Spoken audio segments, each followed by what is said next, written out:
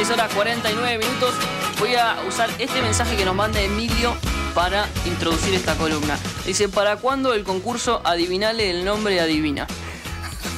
Dice Emilio que nos manda un abrazo. Eh, no, no sé, Emilio, por qué se te ocurre eso, pero intentaba no dar ideas porque la idea es que justamente.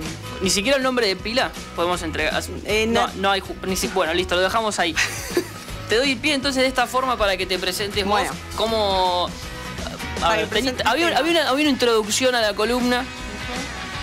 Tuvimos. Eh, la idea es, es leer, eh, leerles una frase y que me digan a ver, o sea, o que piensen a qué, de qué se va a tratar. Claro. Después de eh, ya haberlo anunciado. sí, Es- ese fue el problema, pero bueno. Vamos a hacer como si Como si no. no hubiese pasado nada. No me arrepiento de mi anonimato.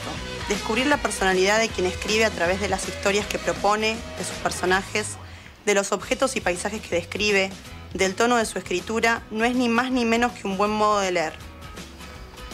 Eh, bueno, siguiendo el mensaje de Emilio, eh, estas o sea, son palabras de Elena Ferrante que la semana pasada causó un revuelo todo el tema de, de su anonimato. No se sabe si es hombre, si es mujer, gana un montón de Ah. premios. Claro, Eh, eso Elena Ferrante uno dice, bueno, es no, mujer. no se sabe. No se sabe. Wikipedia, de hecho, dicen que no está bien cargado con sus datos, no se sabe si es madura o si nació en 1943 como dicen, eh, si es italiana. Y bueno, entonces todo eso me generó el disparador para hacer la columna. Eh, perdóname, acá tengo sí. sí. algunos datos, es cortita, igualmente aquellos que la quieran leer, es Elena sin H, yo lo puse con H, pero son- Ujú. son dos párrafos, todo lo que tiene. Sí, nada. Nada. nada. y tampoco se sabe si es real, porque desde la editorial tampoco dicen nada y fomentan eso y las entrevistas las hace vía mail. Eh, Y en las reseñas de los libros, ¿qué dice?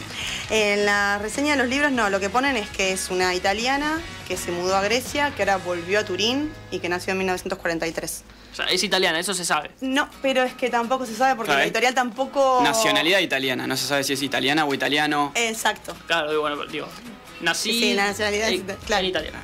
exactamente. Qué cosa rara. Eh, sí. Sí, igual desde 1992 que está manteniendo el anonimato, o sea, es muchísimos años, Claro, no es yo- hace dos años que salió. Eso yo te iba a decir, yo pensé que era reciente, estoy viendo que tiene no, no.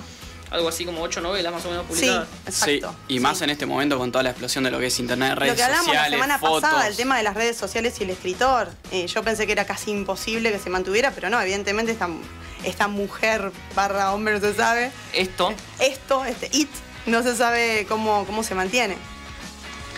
Bueno, al margen de los motivos que pueden llevar a, a crear un seudónimo, eh, lo que tenemos que pensar es que eso va a ser nuestra carta de presentación. Eh, yo lo comparaba con un tatuaje. Si nos gusta, si nosotros nos imaginamos con ese seudónimo hasta dentro de 10 años, ni siquiera 20, 10 años, eh, bueno, va. O al menos claro, es lo que pienso hay yo. que arrastrarlo. Pues está bueno, Elena, Elena Ferrante es. Sí, eh, eh, tiene punch, diríamos. No sé si es pul- pero parece un nombre, o sea, realmente es un Sí. nombre. ¿Cómo era el de Borges y Bioy Casares? Eh, Honorio Bustos Domecq. Ese mismo, ese. Bustos Domecq. Ese Mira. por ahí andaba. Esto no estaba preparado, realmente no, no, me surgió. piedrazo- vengo con los piedrazos al pecho últimamente a ver si salen jugando y salen jugando todos los columnistas. Bueno. Así que te has sumado. Bueno, bien, me, me- estoy ahí, ahí estoy. Bueno, después encontré, investigando un poquito, que hay un sitio que se llama Behind the Name, www. Detrás del nombre. Detrás del nombre.com. Eh, pueden traducirlo o pueden leerlo un poquito en inglés si buscan alguna cosa en traductor. Y ahí se puede generar un seudónimo. eh, puede ser, puedes elegir el tema del género, eh, el origen, que suene ambiguo, que, o sea, que pienses también en qué idioma, lo- o sea, te querés llamar y que funcione, porque yo también pensaba que el seudónimo de, de los grandes tienen que funcionar eh, en diferentes idiomas eh, para que no sea tampoco difícil al traducirlo y todo. eh, no sé, es una idea que tenía Sí, yo. sí. También podemos agarrar y, y elegir en base a los gustos, a los actores que nos gustan. yo me acuerdo que tenía un mail que había conjugado a Scarlett O'Hara, que me gustaba a mí, de lo que Vito te llevó, y había puesto todo ese mail y lo había mezclado. eh, no sé. Los, los, los seudónimos, te pregunto acá puntualmente por, por, esta, por esta mujer y por el tema de las redes sociales. Mm. Eh, también ya esto po- poniéndome un poco medio, eh, ¿cómo se dice? Con- conspirativo. Ya y también aludiendo a la columna que nos toca mañana, que nos toca todos los miércoles con el Chomba, con el señor Y.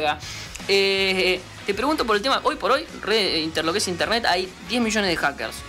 si la chica esta se comunica por Vía vía, mail. mail. Digo, no hay forma de que haya creo que un tiene que turro, ver también un apoyo turra. de la parte de la editorial, porque realmente si desde la editorial no bajan información, la tienen como muy. deben tener hasta, no sé, un servidor secreto, se me ocurre ahora pensando en House of Cards. Sí, eh, sí, la- olvídate. la que es- es- que- pero eso sí, ni hablar. Hay, debe haber 10 millones de blindajes cibernéticos. hace pero sí, 20 todos años- siempre hay. Se filtró Sí, tanto los hay un punto Wikileaks, digo, ciego donde, Claro. donde la tantas fuga. cosas se han filtrado, digo, que se filtra el nombre de una. de Pero no una- va ni siquiera a recibir premios. Claro, bueno. O sea, y gana y gana premios continuamente.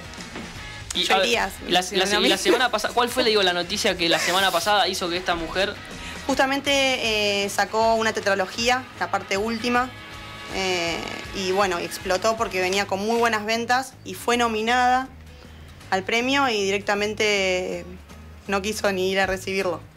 Y ahí fue cuando ya explotó todo, porque hasta Humberto Eco había hablado, bueno, después falleció Humberto Eco, entonces medio que se le dio ese misterio, sí, ese halo de otro- misterio. otro de mito urbano. Otra Hablan de mí. Hablan de mí y fallecen. O sea, bueno, si sa- ya saben, si, si en la, Yo no, me va a terminamos pasar la semana, eso, claro, de si no hecho, terminamos claro, la no me va a semana, pasar eso a mí. No, yo estoy blindada por ser escritora y usar seudónimo. Claro, Entonces, sos- sos co- eh, soy el palo. Entonces no. Exactamente. nosotros estamos, estamos, estamos sonados ya me Bueno, no puedo hacer cargo de todo. Sí, me pero hago no somos, cargo de no mí. somos escritores por el momento. Bueno, tiren unas líneas, algo. Ah, verdad, porque tiene que ser eh, por- también. Y usar seudónimo, por falta eso. parte- no, bueno, pero Eco. Pero entren a Behind the Name ahora mientras estamos y nos van diciendo cosas de mensaje. Yo tuve alguna vez eh, la intención de hacer un seudónimo porque sí, y me, me gustaba el nombre Fabián Borcegos, no sé por qué, pero duró poquito. Me gustaba el apellido Borcegos, no sé si, si, si, si usará, si hay algún apellido ¿Te real. gustaban esos zapatos? Pero ¿Ese directo, qué sé yo. Este, Bien. pero bueno, entonces esta mujer Sí. eh, saca la- el cuarto libro de esta. Qué difícil decir tetralogía. ¿Viste? Tetralogía Pero me salió bien. suena no es tetrabric, al nada de esas tinto, cosas claro. así raras. No. Saca y no, la, la premian. Evidentemente, igual yo ya creo que hay cierto Sí, hay una de. connivencia de, Sí. entre las editoriales y no sé qué. No, pero además el hecho este de la. de. de el morbo. Mm. De decir, bueno, ya fue, la premiamos a ver si aparece, a ver si No, de pisa hecho, el estamos palito. hablando de ella ahora. No sé ni a 12.000 kilómetros que supuestamente vive. Y bueno, estamos hablando de ella. Pero bueno, me pareció súper interesante. Además se armó como una cosa loca. Todos los días yo estoy en foros literarios y se hablaba de eso. Solamente de eso. Y después encima fallece Humberto Eco. Entonces fue como todo un raíz de cosas que digo, bueno, listo. Tengo que hablar de vos, Elena. Llámanos. ¿Y cómo, cómo será, digo, el día que se muera si realmente. Capaz que como los, los masones, digo, que se mueren y ahí develan su secreto. Sí. Digo, capaz que esta mujer. Bueno, una de esas se los lleva y chao, no la vimos nunca más. No, además dicen que, por ejemplo, también la otra la semana pasada tiraron que era profesora en, Sí, a- en Turín Con eso mismo también. y, y la estaban buscando por las universidades, estaban tratando de ver todo. Digo, bueno, o sea, Sí, sí, constantemente se, se generan teorías y subteorías de qué, de dónde es, qué podría ser, qué podría estar haciendo, Sí. qué hace cuando no escribe, escribe todo el tiempo. Tantas cosas de esas, digo. Inventa más seudónimos. Ahí hay que reconocerle el hecho de, del mar- marketinero. Además de tener punch, es marketinero Sí, a pleno. Porque saca un libro y ya de una semana para acá, más allá de que esta mujer o este varón viene escribiendo desde el 92, Igual no sé cómo lo planificó en todo caso, porque de todas formas, ya te digo, ganó el primer premio eh, con el primer libro que hizo en el 92 y después ya, o sea, ya no fue a esa entrega de premio y ya después como que empezó una ah, bueno, personalidad misteriosa. No sé si quizás nunca quiso, quiso claro, bueno, eso, capaz que todo lo contrario, que es una persona que es ajena al mundo ese, Lo al que les medio. contaba la semana pasada de, de H. Lawrence. Era un tipo súper conocido ¿no? en, en Inglaterra y no quería saber nada. Detestaba el tema de las masas sociales y bueno, Claro, se encierra en su casa o con Mm. su familia, vive de las rentas de sus libros. qué suerte. Sí, Eh, quizás no le gusta y después se dio cuenta que la ayudaba también a la También, parte a vender más. material y dijo, bueno, Ya que estamos un cierra poco. todo, claro.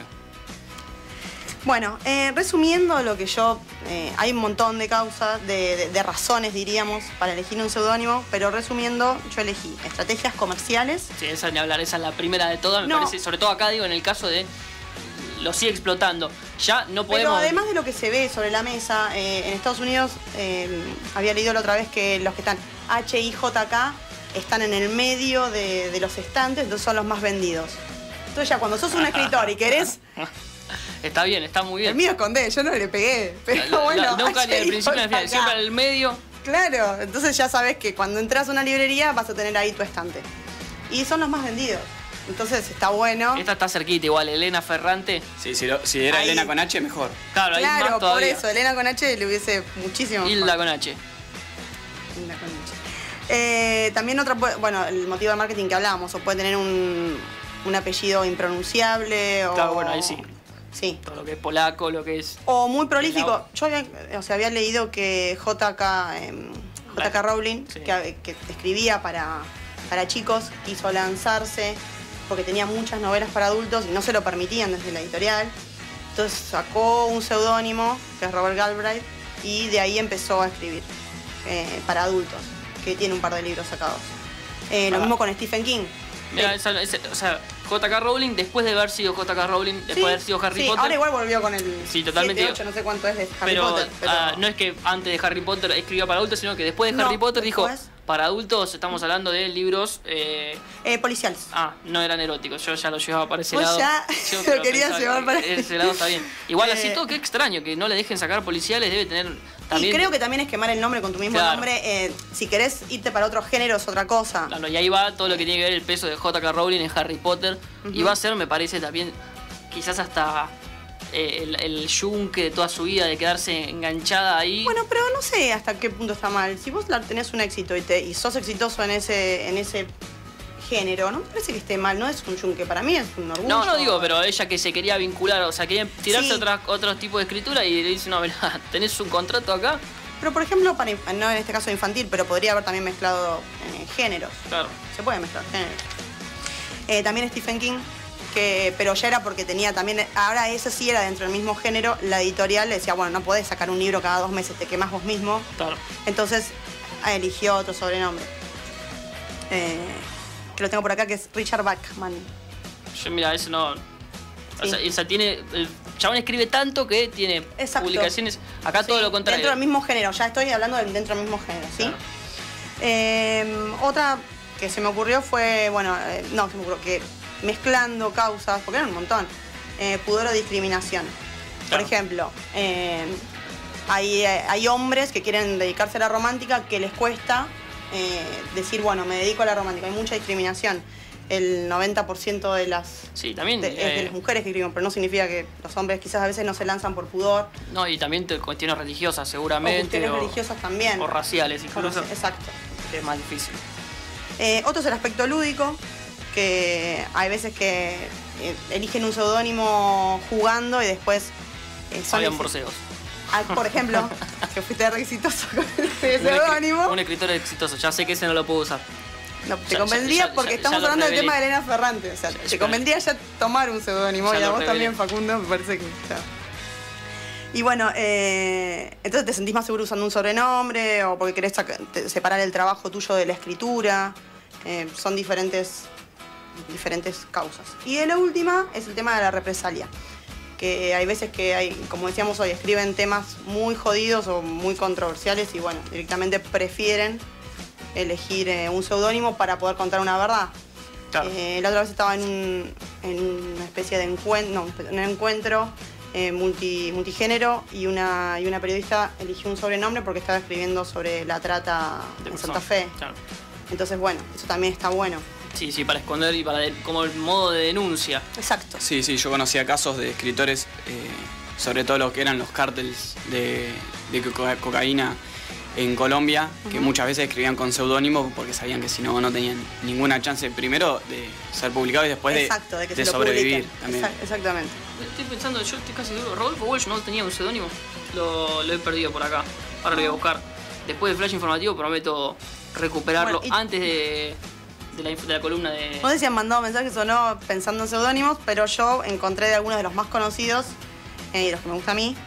También Pablo Neruda, Ricardo Eliezer Neftalí Reyes Basualto. Este es complicado. Sí, acá está. De Rodolfo Walsh era Francisco Freire. Ah, mira, no lo tenía. Cuando fue a la isla del Tigre, estuvo ya haciendo. Eh, mi, mi amiguito Gabriel García Márquez, que es el que más quiero yo, es Gabriel José de la Concordia